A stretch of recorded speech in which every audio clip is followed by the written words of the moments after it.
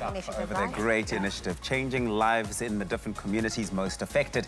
And now we're gearing up to get into yet another boxing session. But first, before we do that, we thought we'd take a moment out of the show to remember and pay tribute to a boxing legend here in South Africa who uh, passed away on the 18th of January 2020. I'm talking about Peter Terror Mathebula, who passed away at the age of 67 um, after a long illness. And his funeral was to be held last week. But tragedy struck the Mathebula family twice as the news came in that his widow, uh, Emma Gabaitsiwe Mathebula, passed away on the eve before Mathebula was to be laid to rest. And of course, the funeral now will be held as a joint funeral and it will be happening today. And so we're taking time out of the Expresso show to remember this legend, this great in South African boxing. Absolutely. Now, just a few facts um, that some people don't know. My pa, my grandfather actually used to love him, but he was born in Mohlakeng, Gauteng, on July 3rd in 1952. Uh, so Peter, or Terror as we know him, was the first black South Africa to ever win a boxing title, which is absolutely huge. Can you imagine? you know?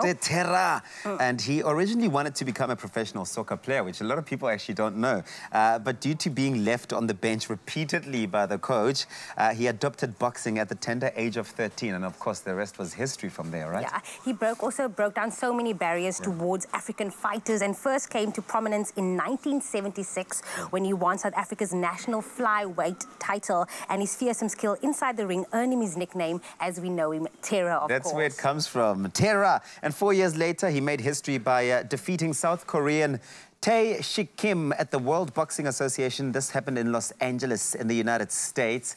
Uh, and of course, South African journalist Arthur Mulisiwa said that Mathebula was not expected to win against defending a champion at Tae Shik, arguing that the Gauteng-born boxer had in fact been lined up as a sacrificial lamb to boost the South Koreans' winning record. But he went against the odds and he did the unexpected, defeating his much-fancied opponent. Yeah. That was a moment in history. Absolutely. He also became, um, after he retired, became a coach and won multiple awards for his achievements and, of course, his contribution to the sport. So, uh, gone, but definitely not forgotten. And our condolences are to the Mathebula family um, for the passing of Peter Terror Mathebula.